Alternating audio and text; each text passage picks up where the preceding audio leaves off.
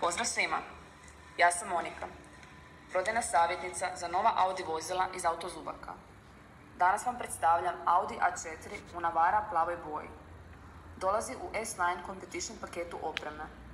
Vozilo je opremljeno 2.0 dizelskim motorom koji razvija 204 konjske snage uz prednji pogon.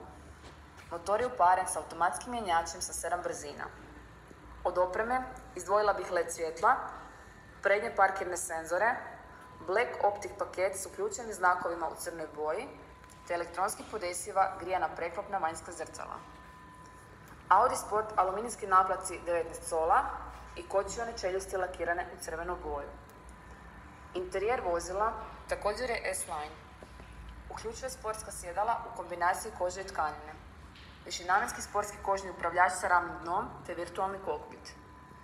Spomenula bih još automatski klima uređaj sa tri zone, grinje sjedala vozača i suvozača, te Audi Smart sučelje za povezivanje mobitela s vozilom.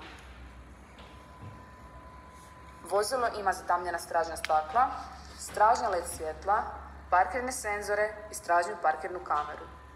Odmah je dostupno za isporuku. Za sva dodatna pitanja stojimo na raspolaganju. Posjetite nas u Autozubak Audi poslovnici na adresi Ljudevita Posavskog u Sesvetama. Čekamo vas!